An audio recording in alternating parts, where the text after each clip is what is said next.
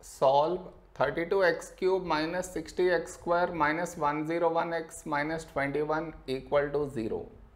Here they told us to solve which means we should get the values of x. For that here we have to change the x term. What I mean is see 32x cube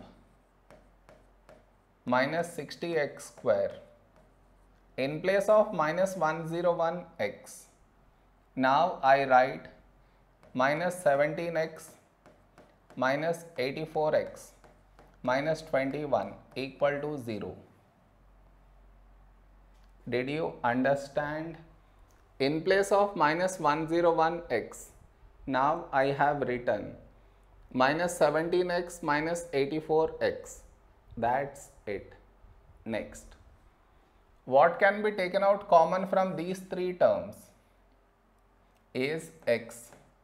So here you get 32x square minus from this x out you get 60x minus from this x out you get 17.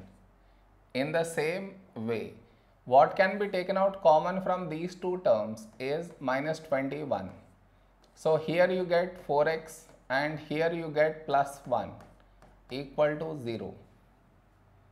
Now in this equation we have come across quadratic.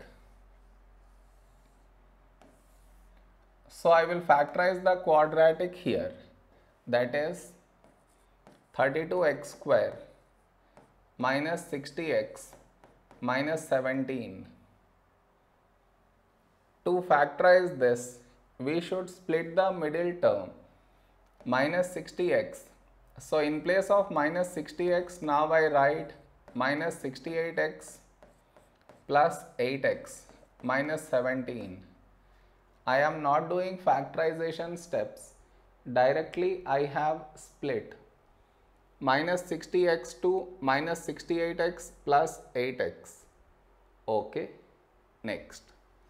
What can be taken out common from these two terms is 4x. So here you get 8x minus from this 4x out you get 17. Now whatever we got here, here also we should get the same thing. From this 8x gone inside, so here we get plus 1. Even if you multiply and check, still you get the same thing. Now take out 8x minus 17 common. So here you have 4x and here plus 1. Now in place of this quadratic we should write this. I repeat in place of this quadratic now I will write this.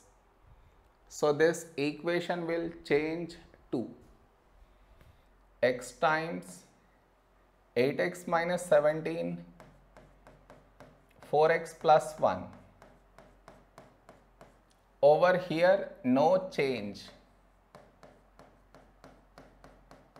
equal to 0. Now, from this entire equation, what can be taken out common is 4x plus 1. So, 4x plus 1 outside over here we are left with these two that is x times 8x minus 17 and over here we are left with minus 21 equal to 0. Now 4x plus 1. Here you open up the brackets in this way.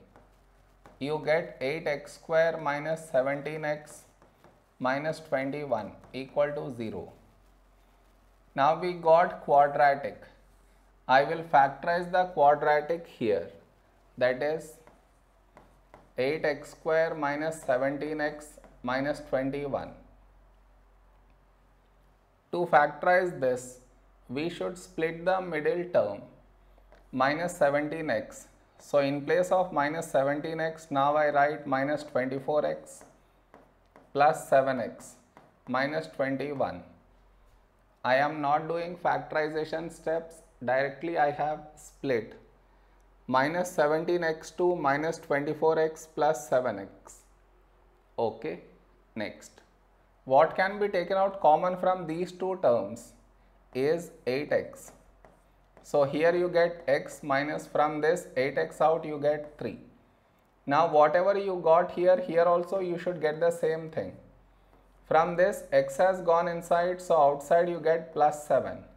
Even if you multiply and check still you get the same thing. Now take out x minus 3 common. So here you have 8x and here plus 7. Now in place of this quadratic we should write this. I repeat in place of this quadratic now I will write this. So this equation will change to 4x plus 1 x minus 3 8x plus 7 equal to 0 more. They told us to solve which means we should get the values of x. And over here we got product of brackets equal to 0. So to get x values we should equate each bracket to 0 that is 4x plus 1 equal to 0 x minus 3 equal to 0 8x plus 7 equal to 0. Now to get x value from here I should remove plus 1 so you subtract 1 you get 4x equal to minus 1. Now I should remove 4 so divide by 4. You get x equal to minus 1 by 4. Now here I should remove minus 3 so add 3. You get x equal to 3. Now here I should remove plus 7 so subtract 7.